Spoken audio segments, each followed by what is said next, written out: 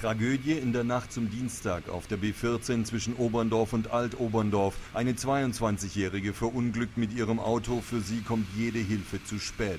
Als die Rettungskräfte eintreffen, ist die junge Frau schon tot. Die Altenpflegerin war auf dem Heimweg von ihrer Arbeit. Wenige Stunden noch und sie würde ihren Geburtstag feiern. Doch die 22-Jährige verliert bei starkem Regen die Kontrolle über ihr Auto und schleudert gegen einen Baum. An der Unfallstelle bietet sich den Rettungskräften ein dramatisches Bild. Sie sind schockiert.